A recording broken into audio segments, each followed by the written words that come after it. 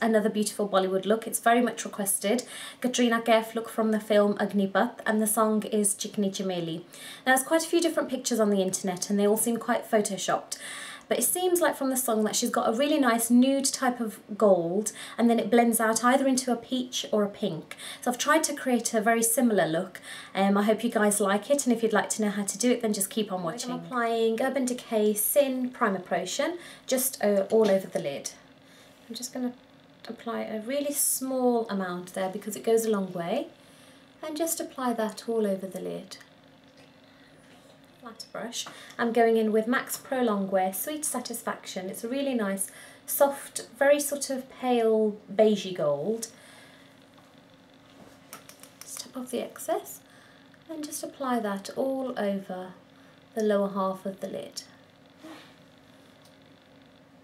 picture in the video, it seems like she's got sort of like a very light, subtle shade of pink just working into the crease. So I'm going to, I think it's a pink anyway, so I'm going to go for a pink, which is MAC's Girly, which is quite a, like very soft, very light pink. Just going in with a 217 brush. I'm just going to blend that into the crease there. Lovely brush, I'm going in with MAC's Brule. It's going to be the brow highlight because she's got a really nice matte brow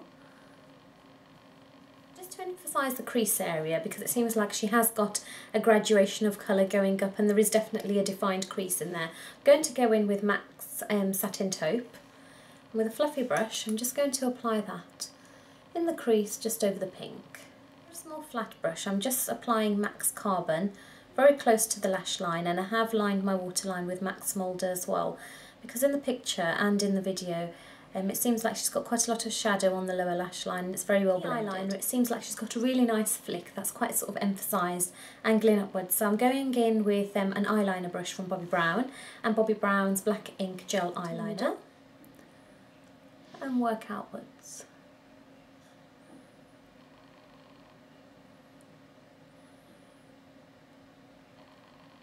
look, I'm going to start from the lower lash line, wing it up